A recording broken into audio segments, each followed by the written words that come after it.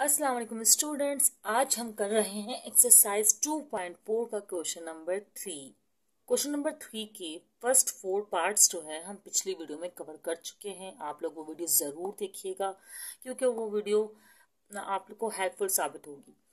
अभी हम part five यहाँ से स्टार्ट कर रहे हैं और ये भी बहुत सिंपल है। मैंने वहाँ भी बताया था आपको कि आपको सबसे पहला स्टेप जो करना है, वो उसको सपोज़ करना है डेल के बराबर। और इस डेटरमिनेंट की फॉर्म में जो ये मैट्रिक्स है, इसे आपने ऐसे ही कॉपी कर लेना है। ठीक है? वहाँ भी ये किया था। और फिर हमने कहा था कि हम इसे खुद कुछ भी कॉम्बिनेशन कर कर अपने हिसाब से ऐसे सॉल्व करेंगे कि हमारा रिक्वायर्ड आंसर आ जाए। प्रॉपर्टीज़ बताई थी, कुछ जिन्हें यूज़ कर सकते हैं। देखें, ये कह रहा है कि ये जो डेटरमिनेंट के फॉर्म में है, ये इसके बराबर आंसर आए और इसके बराबर आंसर आए। ठीक है? दो हैं। पहले तो हम सॉल्व करके इस फॉर्म में इसे कन्वर्ट करने की कोशिश करते हैं या इस फॉर्म में ट्राई करते हैं। चलें, वहाँ पर हमने किया था कि पहले हमने ज़्यादा से ज़्यादा ज़ीरो लाने की कोशिश की थी। आपको पता है सब टर्म एट में है तो ज़ीरो अगर आपको लाना है सिंप्लीफाई करना है तो आपको सब्ट्रैक्ट करना पड़ेगा। अच्छा आप लोग की मर्ज़ी है, आप लोग किसी भी तरीके से करें, लेकिन आपका आंसर सिंप्लीफाइड हो रहा हो। तो मैं क्या करूँगी कि मैं रॉ टू को जो है ना रॉ वन से भी माइनस कर देती हूँ और रॉ थ्री से भी कर सकती हूँ। आप लोग एक एक स्टेप करके भी कर सकते हैं कि पहले रॉ टू को रॉ वन से माइनस करें। फिर आंसर आ जाए तो फिर रॉ टू को रॉ थ्री से कर दे। मैं एक साथ करूँगी और यहाँ पर मेंशन कर दूँगी। आप लोग अलग अलग स्टेप में भी कर सकते हैं। ठीक है तो मैं यहाँ पर लिखती हूँ पहले। ये देखिए मैंने लिख दिया है। ठीक है रॉ वन सेलेक्ट की है, जिसमें से मैं रॉ टू को माइनस करूँगी रॉ थ्री सेलेक्ट की जिसमें से रॉ टू को मैं माइनस करूँगी। तो पहला काम चले, हम स्टार्ट करते हैं। ओके ये वन प्लस ए ऐसे ही है, ये रॉ माइनस होगी तो माइनस वन यहाँ आ जाएगा। ये वन ऐसे ही है, ये रॉ यहाँ माइनस होगी तो माइनस वन और प्लस का बी भी माइनस का बी हो जाएगा, आ जाएगा। यहाँ वन और ये प्लस का वन माइनस का वन हो जाएगा। ठीक है स्टूडेंट्स अब अगला। इसको तो ऐसे रहने दें, इसको रॉ टू को आप इन दोनों से माइनस कर रहे हैं। Row two as it is ही रहेगा। ठीक है, रहेगी, जो भी है। अच्छा अब रॉ टू में रॉ थ्री में से भी रॉ टू माइनस करें तो वन ऐसे ही रहेगा। ये वन प्लस का है माइनस का हो जाएगा। साइन चेंज करते हैं ना सब ट्रैक में। ये वन ऐसे ही रहेगा, ये माइनस का वन हो जाएगा और ये माइनस का बी हो जाएगा। ठीक है? ये वन प्लस सी ऐसे ही रहेगा और ये माइनस का वन हो जाएगा। अब हम जरा सिंप्लीफाइड कर लेते हैं इसको। करें। बहुत इजीली हो रहा है। प्लस का वन, माइनस का वन कैंसिल प्लस का वन, माइनस का वन कैंसिल प्लस का वन, माइनस का वन कैंसिल प्लस का वन, माइनस का वन कैंसिल चलो, एक तो ज़ीरो हुआ। प्लस का वन, माइनस का वन कैंसिल प्लस का वन, माइनस का वन कैंसिल सिंप्लीफाइड फॉर्म आ रही है। देखिए, यहाँ ए बचा है।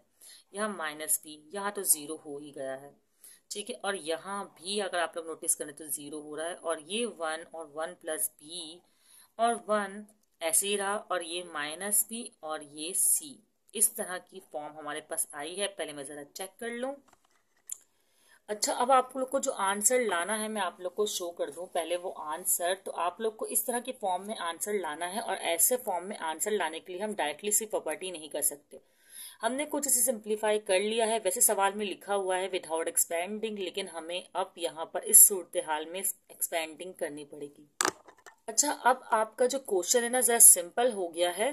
तो अब आप चाहे तो रॉ वन से एक्सपेंडिंग कर दें या रॉ थ्री से कर दें, क्योंकि ये सिंप्लीफाइड फॉर्म ने दोनों के पास ही एक एक ज़ीरो है तो मैं रॉ वन से ही कर लेती हूँ। चलें स्टार्ट करते हैं। कैसे करेंगे भाई? ए चूज़ करते हैं। पहले भी बहुत सारे वीडियोस में हम ये कर चुके हैं। और फिर ये वाला, ये वाली रॉ और ये वाला कॉलम छोड़ देंगे तो बचेगा हमारे पास वन प्लस बी और यहाँ पर वन और यहाँ पर ज़ीरो ये तो छोड़ना है ना तो माइनस बी ठीक है, और यहाँ बचेगा सी ओके अब माइनस का साइन लेना है और ये भी माइनस में तो माइनस माइनस हो जाएगा प्लस ये प्लस का भी, और यहाँ पर हमने ये रॉ ये कॉलम सेलेक्ट नहीं करना one zero one C one zero और वन सी अच्छा दूसरा है तो ये है ही ज़ीरो अब ज़ीरो है तो ज़ीरो ही आएगा। हम इसे क्या लिखें? लिखने का फ़ायदा ही नहीं है। तो इसलिए मैं इसको मेंशन नहीं कर रही हूँ। अब हम ज़रा सॉल्यूशन करते हैं। सॉल्यूशन कैसे करेंगे? ए ऐसे ही रहेगा। और आप लोग चाहते हैं ब्रैकेट बना दें? और वन प्लस बी है ना तो वन बी वन सीज़ा सी ठीक है? प्लस बी सीज़ा बी सी और ये माइनस का माइनस का ये है बी वन जा बी और माइनस फॉर्मूले का भी। तो माइनस माइनस प्लस बी ऐसे आ जाएगा, ओके? अब दूसरी दूसरी बारी इसकी। यहाँ पर बी है। वन सीजा बी तो ऐसे ही रहेगा। वन सीजा सी ठीक है? और ज़ीरो वन ज़ा ज़ीरो और माइनस का ज़ीरो लिखते हैं। कुछ भी लिखे, इससे कोई फ़र्क नहीं पड़ता। खैर, अब आगे करते हैं। कैसे करेंगे भाई? ये ए जो है अपनी जगह पर है, बल्कि अपनी जगह पे क्या मल्टीप्लाई करवा दें ए सी आर ए सी ठीक है? A B C R A B C और A B R A B ठीक है? इस तरह B C R B C अब ये एक फॉर्म अगर आप नोटिस करें तो एक आंसर तो हमारा आ गया है। इसको जरा नोट करें। A B C B C C A A B यहाँ भी नोट करें। एक आ गया ए बी सी सी ए भी कह सकते हैं, इसे ए बी कह सकते हैं बी सी कह सकते हैं। तो दैट्स मीन कि आंसर हमारा आ गया, उसे, उसी फॉर्म में अरेंज कर सकते हैं सी ए लिख दें। ठीक है? तो मैं उस फॉर्म में अरेंज कर देती हूँ जो हमें आंसर रिक्वायर्ड है। जैसा बुक में आंसर था, मैंने वैसे अरेंज कर दिया। ए बी सी में यहाँ ले गई बी सी स्टार्ट में, फिर सी ए और फिर ए बी ठीक है? अब एक और हमारे पास आंसर है, मैं आपको मेंशन करती हूँ। देखिए, यहाँ तक तो हम पहुँच चुके थे। सही है? अब अगर आप देखें तो एक आंसर और है, इस तक भी पहुँचना है। आप नोटिस करें, हमें ए बी सी चाहिए और अगर मैं इन सबको ए बी सी से डिवाइड करवा दूँ तो बी सी कैंसिल हो जाएगा। इस तरह का हमारे पास आंसर आ जाएगा। देखते हैं कैसे करते हैं। देखिए मैं क्या करवा रही हूँ? मल्टीप्लाई जो काम आप करें वो दो मल्टीप्लाई जैसे हम करते हैं ना एड और सब्ट्रैक्ट दोनों करें। इसी तरह मल्टीप्लाई एंड डिवाइड दोनों करें। ठीक है? किसको डिवाइड करना है भाई? आपने मल्टीप्लाई करना है और डिवाइड करना है। किसको करना है? ए बी सी को। अच्छा ए बी सी को आ, कैसे डिवाइड करेंगे? हमें क्या फ़ायदा होगा? मैं आपको दिखाती हूँ। देखें मैंने ए बी सी को इस पूरी वैल्यू से मल्टीप्लाई भी करना है और डिवाइड भी करना है। अभी मैं इस वैल्यू को ऐसे मेंशन कर देती हूँ। सही है? फ़ायदा रहेगा ना? अच्छा ये ए भी रहेगा और वो अब ब्रैकेट तो बन नहीं रहा तो मैं यहाँ बना देती हूँ। ठीक है? अच्छा अब क्या करना है हमें? सिर्फ़ जो डिवाइड वाला ना, उस अंदर ले जाएँगे, बाहर रखेंगे, क्योंकि हमें ये चाहिए ना ए बी सी तो हम इस ए बी सी को एज इट इज़ ऐसे ही रहने देंगे। और इन ए बी सी के साथ मतलब इन वैल्यूज़ के साथ ए बी सी को कर देंगे डिवाइड ठीक है? चले भाई, ये हमने सबके साथ जो है ए बी सी को डिवाइड कर दिया। यहाँ पर हमारे पास ए बी है, अगर सही नज़र ना आ रहा हो आप लोग को तो मैं ये आपको वर्बली भी जो है वो बता रही हूँ। सही? अच्छा आप बता, देखें क्या कैंसिल हो रहा है आपके पास से। ये A B C as it is रह रहा है। ये पूरा का पूरा कैंसिल हो रहा है। अच्छा है, हमें वन चाहिए। ठीक है? ये वन आ गया। ये B C B C cancel हो रहा है। हमें ए ही चाहिए। रेसिप्रोकल में ए है, ये ठीक है। फिर ये सी ए कैंसिल हो रहा है। रेसिप्रोकल में बी आ रहा है हमारे पास। ये भी ठीक है। फिर ये ए भी कैंसिल हो रहा है और रेसिप्रोकल में सी आ रहा है हमारे पास। चले भाई, ये भी बहुत अच्छी बात है। क्योंकि हमें यही आंसर जो है वो रिक्वायर्ड है one upon A one upon B one upon C बिल्कुल एज इट इज़ आंसर जो है वो आपका आ गया है। इसका मतलब है कि आपने प्रूफ कर दिया है इस क्वेश्चन को कि हाँ ये जो डेटर्मिनेंट है वो इन वैल्यूज़ के बराबर है। चलिए नेक्स्ट पार्ट करते हैं। अब है ये पार्ट सिक्स हमारे पास, जो कि काफ़ी सिंपल है, अगर आप और करें। देखिए अल्फ़ा बीटा गैमा एक कॉलम तो हमारे पास सेम है इन दोनों को सेम करना है। अच्छा देखिए, यहाँ क्यूब और यहाँ स्क्वायर है तो लेफ़्ट हैंड साइड को ही चूज़ करके करने में हमारे लिए जो है वो आसानी है, क्योंकि हम मल्टीप्लाई करवा सकते हैं। आपको तो पता है कि हम खुद से कुछ भी किसी कॉलम के साथ करके एक, लेकिन जो भी करते हैं, पूरी कॉलम या पूरी रॉ के साथ करते हैं तो हम वो काम कर सकते हैं।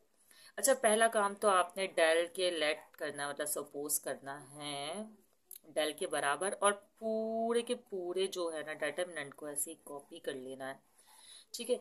नॉट आ बिग टी बस प्रैक्टिस का खेल है, जब हम प्रैक्टिस करते हैं ना कि भाई अच्छा ये चीज़ ऐसे भी हो सकती है अच्छा यहाँ सब्ट्रैक्ट भी कर सकते हैं, या एडिशन भी हो सकता है मल्टीप्लाई भी कर सकते हैं तो हमें हर तरह के क्वेश्चन जो है सॉल्व करना आ जाता है।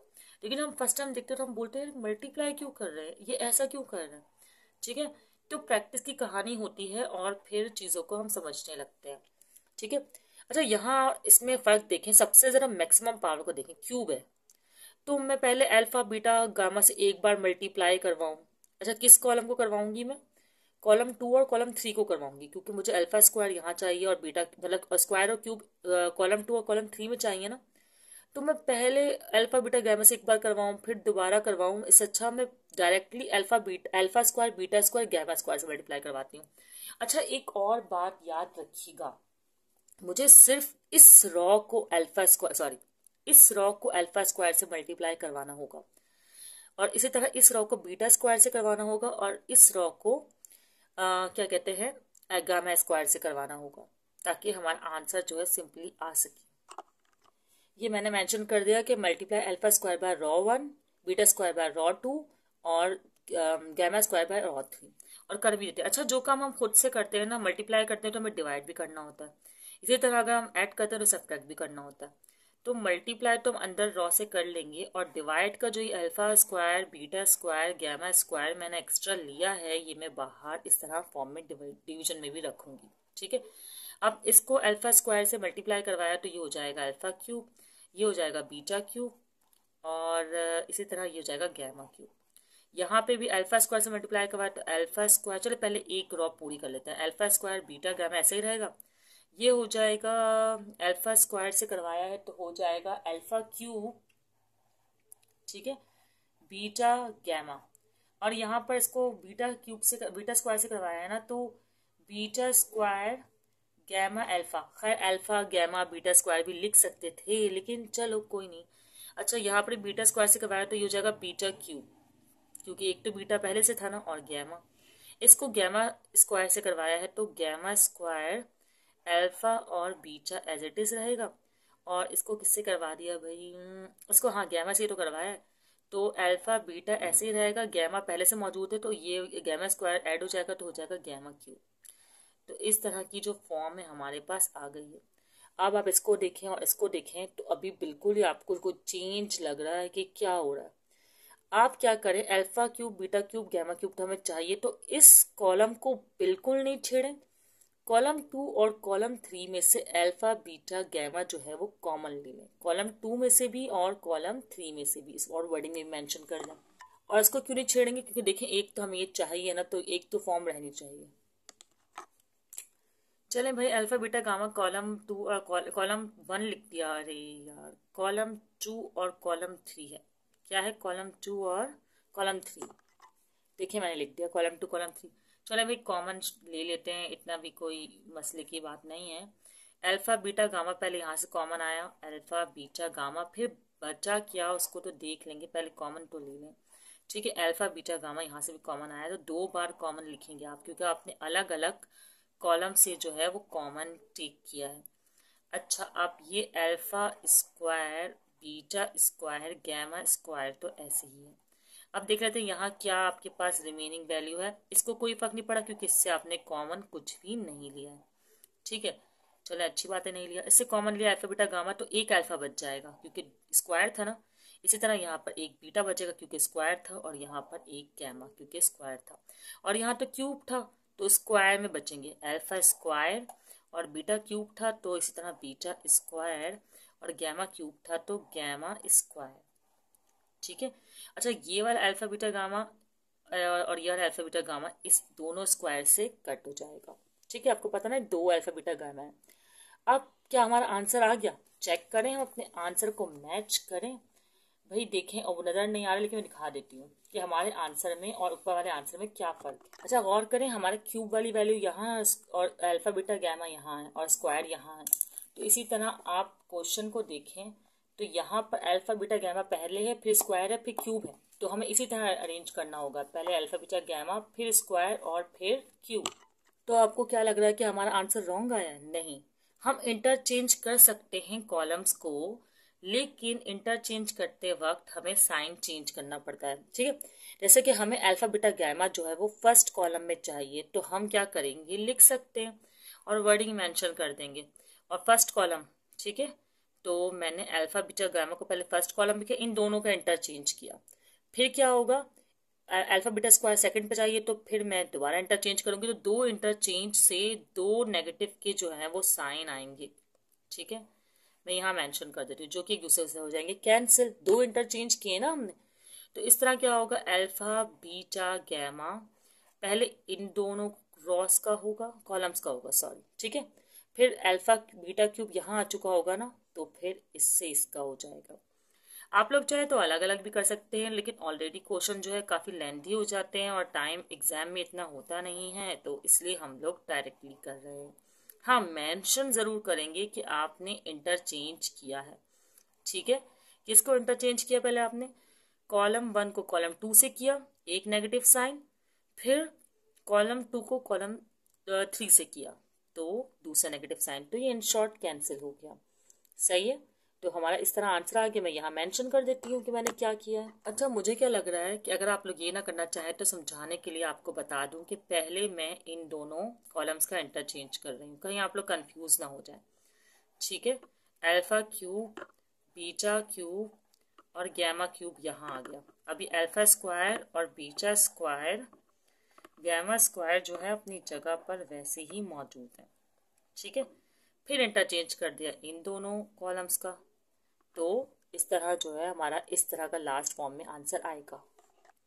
ये जो है आपका आंसर आ गया और यहाँ मैंने वर्डिंग मेंशन कर दी। और अब हम फाइनली आंसर को यहाँ पर रिप्रेजेंट कर देते हैं।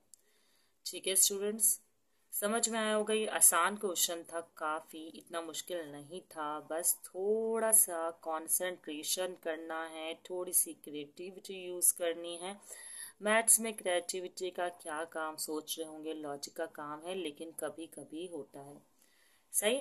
ठीक है स्टूडेंट्स अब नेक्स्ट वीडियो में हम फर्दर एक्सरसाइजेस फर्दर क्वेश्चंस को कवर करेंगे। अभी तक के लिए इतना ही। ये दो क्वेश्चन आप लोग प्रैक्टिस कर लीजिएगा। और अगर वीडियो पसंद आई हो तो दोस्तों को भी आगे ज़रूर शेयर करें। चैनल को सब्सक्राइब कर दीजिएगा। अल्लाह हाफिज़।